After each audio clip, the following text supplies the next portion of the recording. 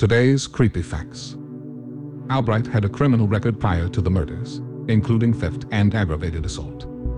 He was known to have a fascination with eyes, stemming from his childhood interest in taxidermy. Albright's adoptive mother was very protective and had a significant influence on his life. He was a talented student and received a scholarship to study pre-med at North Texas State University, but he never graduated. Despite his criminal activities, Albright maintained a facade of normalcy, working as a teacher and a carpenter. His case garnered significant media attention due to the gruesome nature of the murders and his obsession with eyes. He was sentenced to life in prison in 1994. If you've enjoyed this short, be sure to subscribe and keep on the lookout for daily uploads.